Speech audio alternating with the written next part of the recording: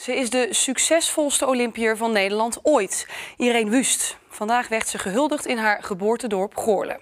En daar stond een verrassing op haar te wachten. Lieve Irene, jouw uitzonderlijke prestaties staan in ons geheugen gegrift. Maar onze trots is met geen pen te beschrijven.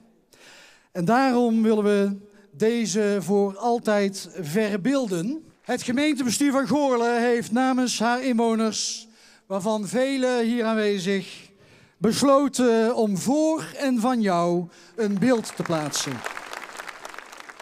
Wust deed vier keer mee aan de Olympische Spelen. En in totaal won ze daar vijf gouden medailles, vijf zilveren en één bronzen medaille. En daar blijft het bij, want Wust ronde in Zuid-Korea haar Olympische carrière af. Nou, in Ingoorlen, daar uh, waar het feestje was uh, vanmiddag, is verslaggever Raymond Merks. Raymond, was het een mooi feestje?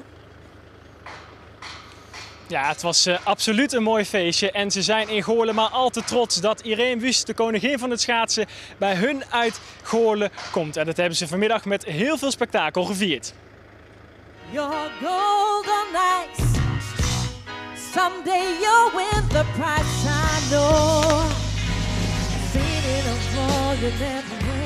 U bent trots, denk ik. Uh, ja, we zijn heel trots op Irene en uh, wat ze gepresteerd heeft. Misschien is het wel de laatste huldiging, hè?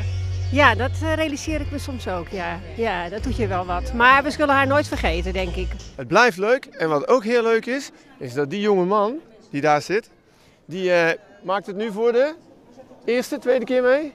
Nou, um, ik vind het gewoon mooi om te zien en uh, ook hoe die plakken er mooi uitzien. Het wordt bijna traditie dat het hier gehuldigd wordt. Ja, ja, ik was ook bang dat het misschien gewoonte zou worden, maar dat merk ik, dat is het niet. Nee, het blijft speciaal, ondanks al die huldigingen. Ja, ja, ja. Het blijft heel speciaal. En gewoon het meisje uit Goorlen. Gewoon, en ik hoop ook dat ze zo uh, kan blijven. Dat ze geen last zal hebben van al haar uh, bekendheid. Ja, voor, voor iedereen zelf was het hoogtepunt natuurlijk dat ze een eigen standbeeld krijgt. Het is nog niet duidelijk wanneer dat gaat komen, hoe het eruit gaat zien of waar het gaat komen.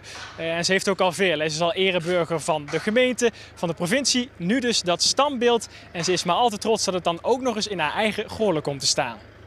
Het Goorlen blijft natuurlijk een beetje thuiskomen. Daar waar je, waar je geboren bent en opgegroeid en daar waar je familie nog woont, is dat natuurlijk nog steeds speciaal. Ja, hier achter mij wordt het eh, podium nog opgeruimd. Het is waarschijnlijk de allerlaatste huldiging Olympisch gezien voor Irene Wust. Maar stiekem hopen ze hier met z'n allen nog op een klein wondertje. Raymond Merksen vanuit Goorlen, dankjewel. Ja, en wil u nu eh, de complete huldiging zien eh, van Wust?